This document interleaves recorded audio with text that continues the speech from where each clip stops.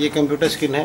तो आज का मेरा क्लास था कि माइक्रोसॉफ्ट वर्ड में ग्रुप कैप का इस्तेमाल कैसे यानी न्यूज़पेपर में पहला वाक्य का पहला शब्द बड़ा करने के लिए ग्रुप कैप का प्रयोग करते हैं।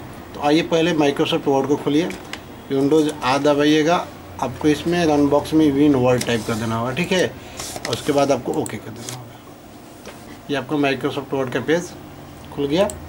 अब इसमें पहले मैसेज को लिखना पड़ेगा। तो मैसेज लिखने के लिए रैंड का सिंटेक्स का इस्तेमाल कर लीजिए रैंड चार और पाँच का ले लेते हैं। ठीक है? इंटर मारते हैं। देखिए ये मैसेज आ गया। और मैसेज को सेलेक्ट कीजिए। पेज लेफ़्ट में जाइए। यहाँ देखिए कलम है।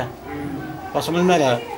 तो कलम पर क्लिक करना होगा। यहाँ पर दिखाई दिया one two three left right दिखाई दे रहा है। तो अगर इसमें से चुनना है तो ठीक है नहीं तो मोर कलम पर क्लिक कर देंगे। आपको यहीं बॉक्स बनाना है आपकी कॉपी पर बात समझ में आया? क्लियर तो देखिए ये एक लिखा है नंबर ऑफ़ कॉलम ना। अगर मुझे चाहिए चार तो यहाँ पर चार टाइप कर देंगे और ओके कर देंगे। कितने भाग में बट गया? चार। चार भाग में बट गया। और मुझे इसको डोरपेट करना हो तो इंसर्ट टाइम में जाकर डोरपेट कर देंगे। नहीं किसी वाक्य को बड़ा करना होगा तो सेलेक्ट करके होम टाइम में जाकर साइज़ बड़ा कर देंगे। पता है ना न्यूज़पेपर की तरह। यहाँ से इटालिक भी कर दीजिएगा। इसमें पिक्चर लाना होगा तो पिक्चर लाने के लिए हम इंसर्ट टाइम में जाते हैं। ये क्लास तो करा चुके हैं। चलिए तो हम यहाँ से ये फ़ोटो ले लेते हैं और इंसर्ट करते हैं। देखिए, ये आ गया फ़ोटो और समझ में आ रहा है? अब ये ऊपर नहीं जा रहा। जा रहा है ना? तो इसको फ़ोटो को सेलेक्ट करके क्या कर दीजिए? टेक्स्ट टू आर्ट पर। फ्रंट करना है तो फ्रंट कीजिए बिहाइंड कीजिए। लेकिन देखिए, यहाँ पर स्क्वायर करते हैं। हम क्या कहते हैं? स्क्वायर अभी ये थोड़ा सा फ़ोटो को हम यहाँ से क्रॉप कर लेते हैं। चारों तरफ़ से, ध्यान दीजिएगा। ठीक है क्रॉप हो गया ना? अब इस फ़ोटो को हम कॉपी पेस्ट कर लेते हैं। देखिए, यहाँ पर हम फ़ोटो बीच में ले जाते हैं।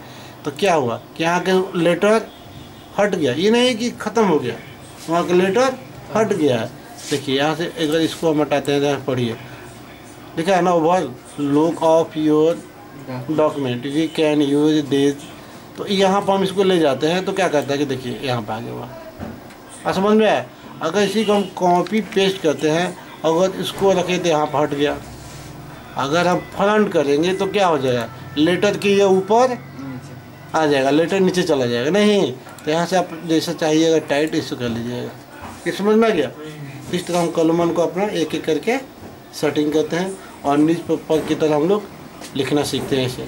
यदि आपको मेरा क्लास और लाइव समझ में आता है तो प्लीज़ मेरे चैनल को सब्सक्राइब लाइक शेयर करें, ताकि ऐसे ऐसे क्लास का हमेशा आपको नोटिफिकेशन मिलता रहे, घर बैठे कंप्यूटर सीखें